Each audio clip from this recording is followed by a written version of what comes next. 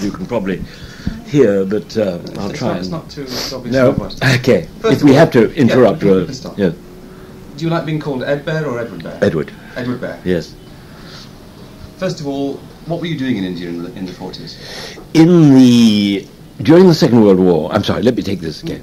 Uh, during the Second World War, uh, there was a pressing need for junior leaders in the much expanded Indian Army, and there was a very attractive scheme to public school bo- public school uh, inmates. Uh, I was one of them to be recruited into the Indian Army practically direct.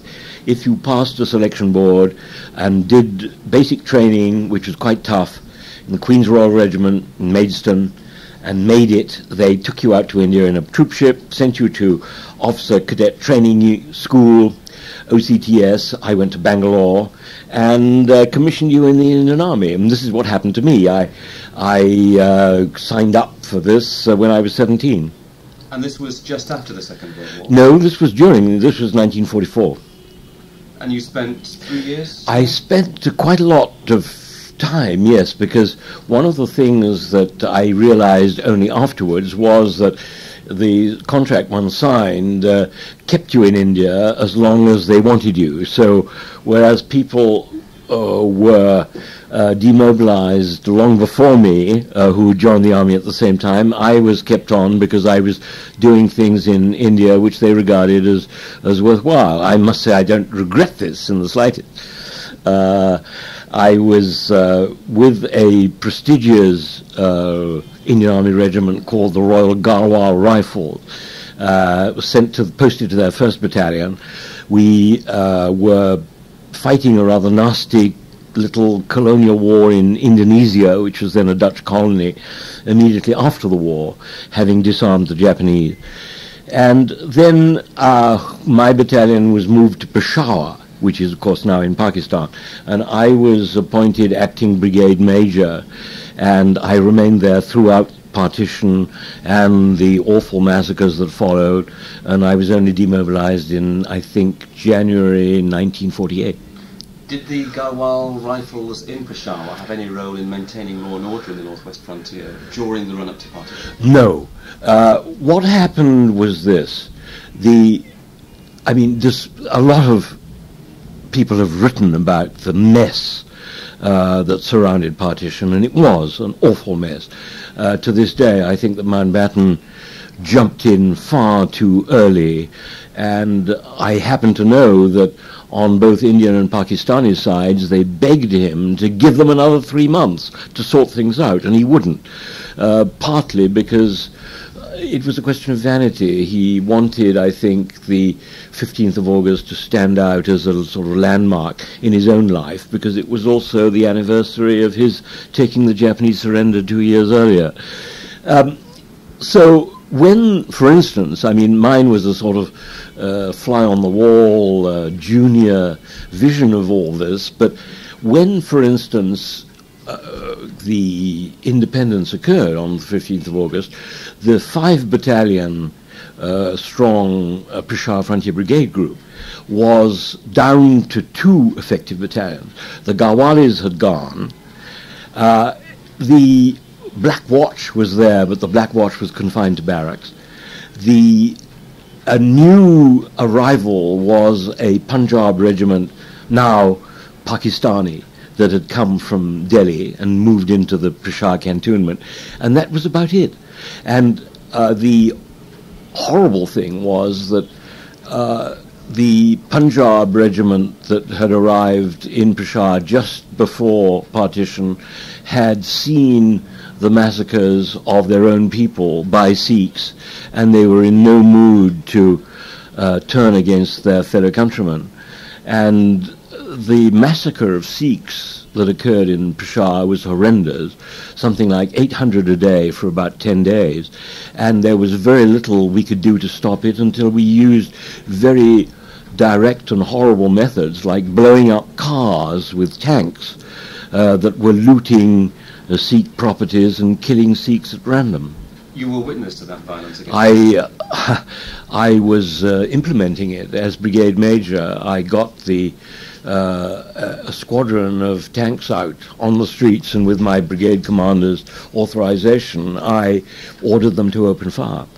And you were opening fire on. We were opening fire on Pathans, all of them armed, who had moved into Peshawar, who were driving around in stolen cars, who uh, knew what they were doing.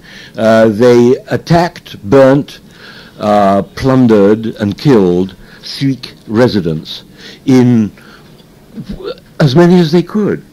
They also, for instance, these same Pathans surrounded a Sikh uh, stronghold in old Peshawar city and set fire to it, and we had to blow up part of the building in order to stop the fire, having evacuated the people first, of course. But it was it was a war. You say that they knew what they were doing. Were they motivated by simply the desire for wealth, or were they politically motivated? It was a it was a mixture. The we thought uh, at first that the kind of massacres that were going on in Calcutta, in Delhi, all over the place, in the Punjab, might not happen in Peshawar, and that Peshawar might be spared. And then an awful thing happened on the 7th of September. Uh, the Punjab regiment opened fire on the Sikh unit next door, which was confined to barracks. And this uh, uh, led to one death of a Sikh soldier, and the rumour spread immediately throughout the town, but also beyond the town, to the villages in outlying areas, that the Sikhs had attacked the new Pakistan army, and they moved in and started killing Sikhs. And we were unprepared for this. We didn't have the troops. We didn't have the the means to do anything about it uh, for about one or two days. And to prevent a huge massacre of Sikhs, we had to take drastic measures. Uh, I got the police chief to agree to uh, the army, which was now the Pakistan army, the reliable units that we could use, and there were only a few hundred of them, to move the Sikhs into the old fort in Peshawar, and we kept them there under horrible conditions because there again there were thousands of them, tens of thousands, and the sanitation conditions were appalling. And then the problem arose: what do we do with these Sikhs who have to go back, obviously, to India, and who are threatened with uh, death on the way back? And my brigade commander, who was a very uh, dashing, tough Gurkha, ex-Gurkha officer who'd also been a Chindit. His name was Brigadier Morris. Uh, we worked out a scheme whereby uh, a convoy would go down the road from Peshawar in the direction of Rawalpindi. And this convoy would look like an ordinary convoy of Sikh refugees, but I called also for Sikh soldiers uh, in these groups to uh, remain concealed in their uh, in their trucks. But if there was an ambush, they were to respond, and this happened. The uh, Pathans opened fire on the trucks as they drove down the Peshawar Naushera road. The Sikhs fired back. I was with them. And the Pathans were very, very surprised to have this kind of response, and they ran away. And we managed to get all the people down the road to Naushera and then back to Rawalpindi in that fashion. You were a brigade major, but technically part of the Pakistan. Well, it was very curious. I was wearing the uniform of an officer of the Garhwal Rifles, which was an Indian Army regiment, which is assimilated to the to the Gurkhas and wears kukris and so on. Uh, and yet, yes, I was under a this very new command, and the Peshawar Brigade was indeed part of the new Pakistan Army. But uh, confusion was such that really these we we didn't think about who we were uh, responsible to. The the fact is that. For instance, in my own regiment, the Garhwal Rifles, there had been some Muslim Indian officers.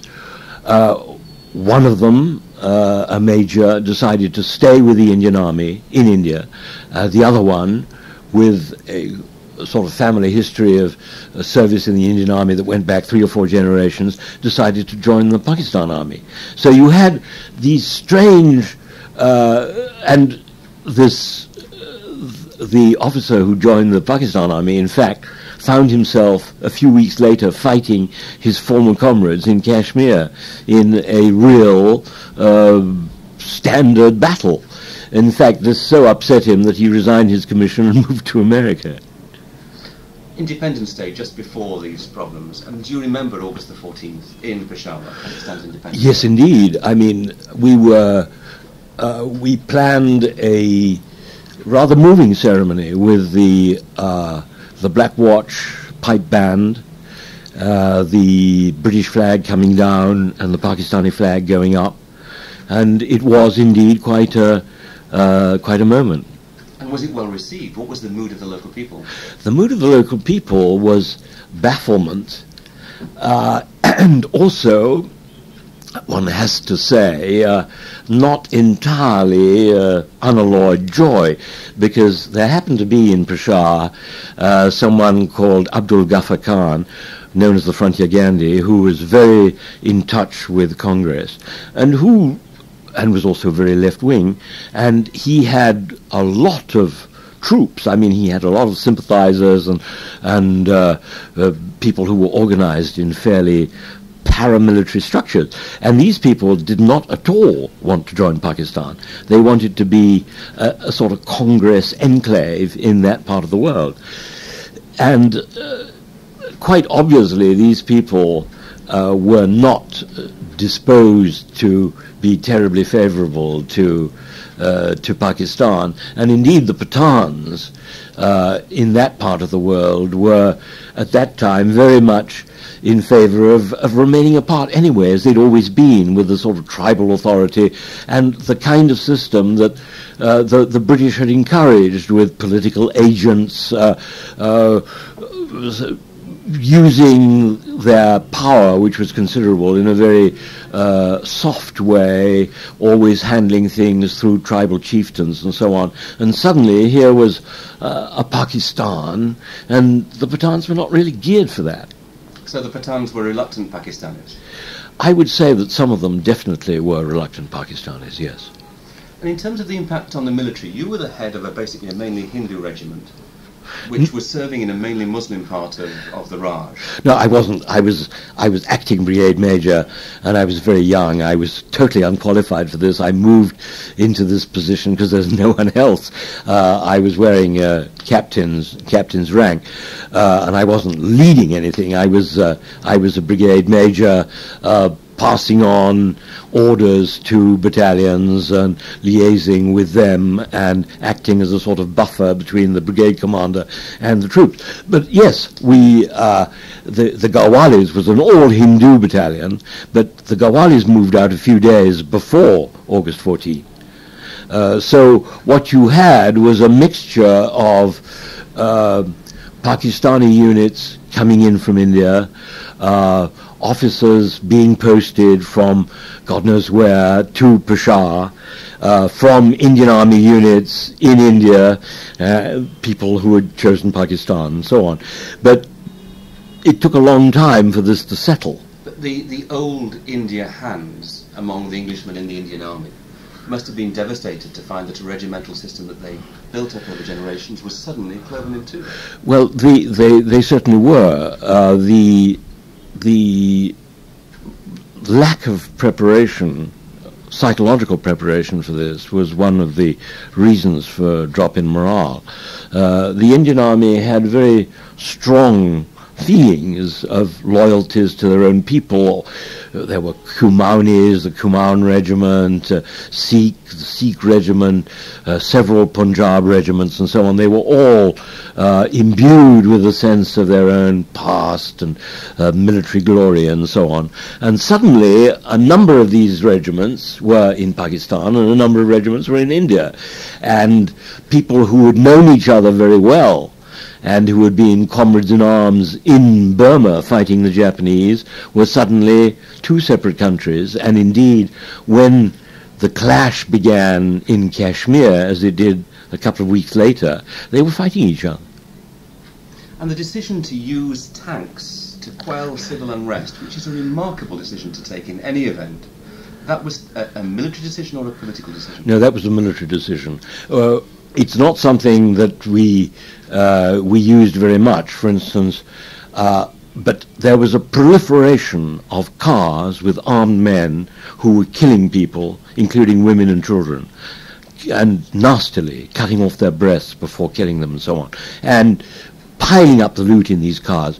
The police were completely powerless before this because the the uh, in a clash, the Pathans would open fire and, and some policemen were killed. Uh, what was one to do? Uh, reluctantly, we decided to make an example of, I would say, four cars which were blown up and left where they were, with the bodies, with the loot, with everything, the, the rupee notes, uh, the jewelry. And this was an example because immediately news spread that the tanks had fired on three or four cars all over the city. There were abandoned stolen cars with abandoned loot. People just ran away. I think that although the, the lo- there was a loss of life, it was probably, in a sense, despite the brutality of it all, it was probably minimal force. And it saved Sikh lives. It in saved a lot of lives. Uh, I mean, you've got to remember that uh, I think on the second or third day of that fateful week, um, the the Pathans coming in from outside were doing very horrible things. For instance, they moved into the Peshawar military hospital in the cantonment and started killing Sikh and Indian soldiers who had not been, who had been too sick to be evacuated back to India and were still there.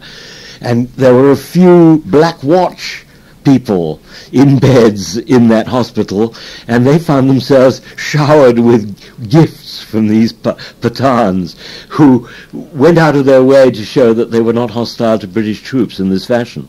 Uh, it was a very strange situation. It was uh, it was a mixture of Alice in Wonderland, Kafka, and and nastiness. A related, slightly related subject. You mentioned you were fighting with the Garhwalis in Indonesia. You were fighting against whom then?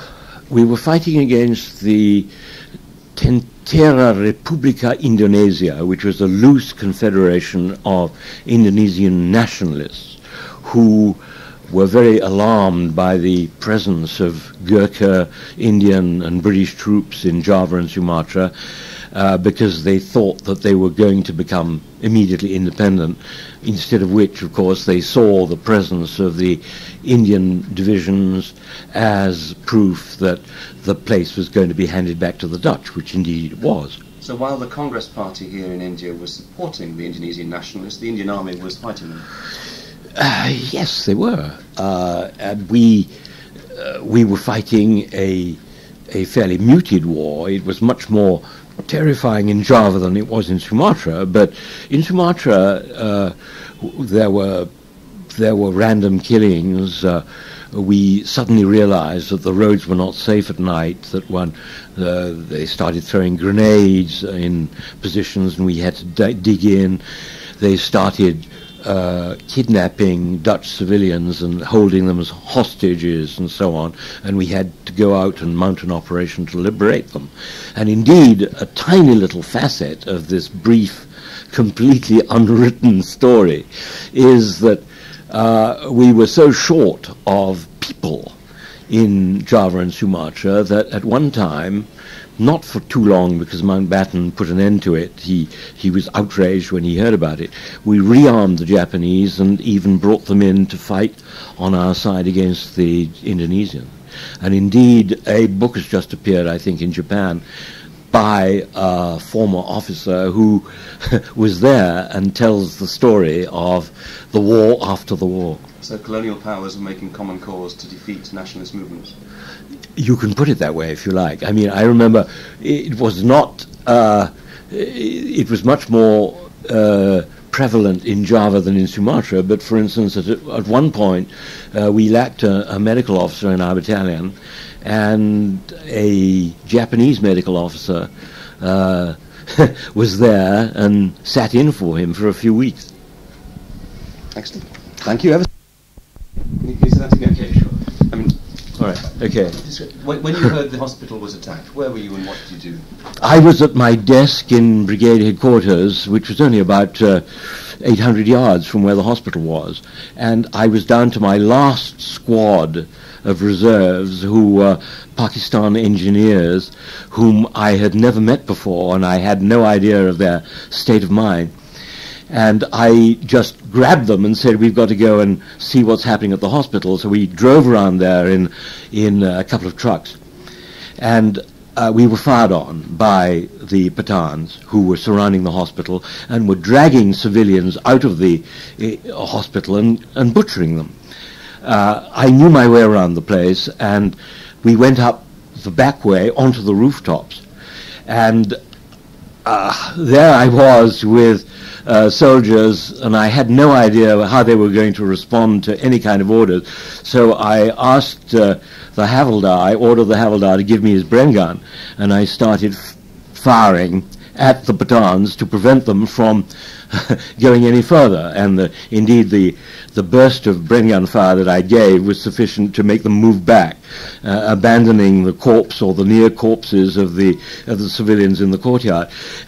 At which point, the same Havildar I felt on my right was grabbing the Bren gun, and I said to myself, "Uh-oh, we have a mutiny on our hands because he's objecting to my firing at the Pathans." But what he in fact was saying is, "Let me have a go," and so uh, realizing that this was a disciplined force and they were as outraged as I at the massacre that they could see, I uh, left them to it and uh, went back to my headquarters and got uh, a battalion, one of the few units that was reliable, to surround the place, and we managed to grab the uh, Pathans and put them in jail. And we collected a lot of equipment and rifles, Lee Enfields, all sorts of uh, grenades, uh, any number of arms from this operation. And indeed, it was the the first time that there had been a sort of a military response that had worked.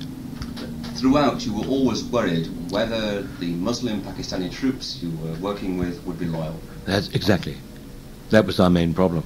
And indeed, when the, the, the worst moment probably was a fateful Sunday morning, the 7th of September 1947, which I always remember, when I was in my own bungalow and I got news that the uh, Punjab battalion and the, the 19th Lancers unit next door were firing on each other and had deployed in sort of battle position. I rushed round in my jeep to the brigade commander's house that wasn't all that far away, told him about it, and he uh, grabbed his hat. He was wearing a white shirt and shorts, I remember, but he had his brigadier's uh, cap with the sort of red band round it, and he said, drive straight down the middle. And he stood up and yelled to them to cease fire, and I kept driving. And when we reached the, the middle, thank God they, they stopped firing at each other. Uh, he went towards the Lancers and I went towards the Punjabis. And uh, his order to me was, first thing you do, get them to stand up and stop firing. And uh, miraculously they did. But uh, the result was that the this Punjab regiment could, of course, not be used on any kind of uh, civil unrest uh, operation for the rest of that period. But the battle between Pathans and Sikhs, which you were seeing in the streets of Peshawar, was replicated within the cantonment. It was, yes. It was all over Peshawar, in Peshawar city, in Peshawar cantonment. Uh, yes, it really was. And it was a, a very nasty situation for about 10 days until we managed to get all the Sikhs out, partly by road and partly by air. That's great. Thanks ever so much. Okay.